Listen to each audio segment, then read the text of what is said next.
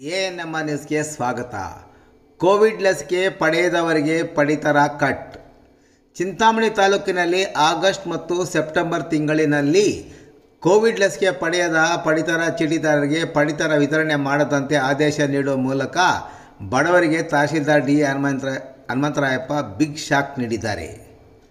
ನಗರ ಮತ್ತು ತಾಲೂಕಿನ ನ್ಯಾಯಬೆಲೆ ಅಂಗಡಿ ಪ್ರಾಧಿಕಾರದಾರರಿಗೆ ಜ್ಞಾಪನಾ ಪತ್ರ ನೀಡಿರುವ ತಹಶೀಲ್ದಾರ್ ಅವರು ಆಗಸ್ಟ್ ಮತ್ತು ಸೆಪ್ಟೆಂಬರ್ ಎರಡು ಸಾವಿರದ ಇಪ್ಪತ್ತೊಂದನೇ ಸಾಲಿನ ಪಡಿತರ ಚೀಟಿಯಲ್ಲಿರುವ ಹದಿನೆಂಟು ವರ್ಷ ಮೇಲ್ಪಟ್ಟ ಎಲ್ಲ ಸದಸ್ಯರು ಒಂದು ಅಥವಾ ಎರಡನೇ ಡೋಸ್ ವ್ಯಾಕ್ಸಿನ್ ಪಡೆ, ಪಡೆದ ಪ್ರಮಾಣ ಪತ್ರವನ್ನು ಹಾಜರುಪಡಿಸಿದಲ್ಲಿ ಮಾತ್ರ ಪಡಿತರ ವಿತರಿಸುವುದು ಮತ್ತು ಎರಡನೇ ಡೋಸ್ ಪಡೆಯಲು ಇನ್ನೂ ಕಾಲಾವಕಾಶವಿದೆಯೇ ಅಥವಾ ಇಲ್ಲವೇ ಎಂಬ ಬಗ್ಗೆ ಪರಿಶೀಲಿಸಿ ಅವಧಿ ಮೀರಿದ್ದಲ್ಲಿ ವ್ಯಾಕ್ಸಿನ್ ಪಡೆದ ನಂತರವಷ್ಟೇ ಪಡಿತರ ವಿತರಿಸುವಂತೆ ಜ್ಞಾಪನಾ ಪತ್ರದಲ್ಲಿ ಸೂಚಿಸಿದ್ದಾರೆ.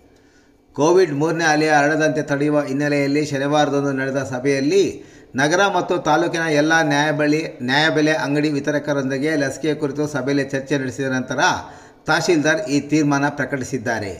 ವ್ಯಾಕ್ಸಿನ್ ಪಡೆಯದೇ ಇರುವ ಪಡಿತರ ಚೀಟಿದಾರರಿಗೆ ಪಡಿತರವನ್ನು ನೀಡಲಾಗುವುದಿಲ್ಲ ಎಂಬ ಸೂಚನಾ ಫಲಕವನ್ನು ಎಲ್ಲ ನ್ಯಾಯಬೆಲೆ ಅಂಗಡಿಗಳ ಮುಂದೆ ಕಡ್ಡಾಯವಾಗಿ ನಾಮಫಲಕ ಪ್ರಕಟಿಸುವಂತೆ ತಹಶೀಲ್ದಾರ್ ಸೂಚಿಸಿದ್ದಾರೆ.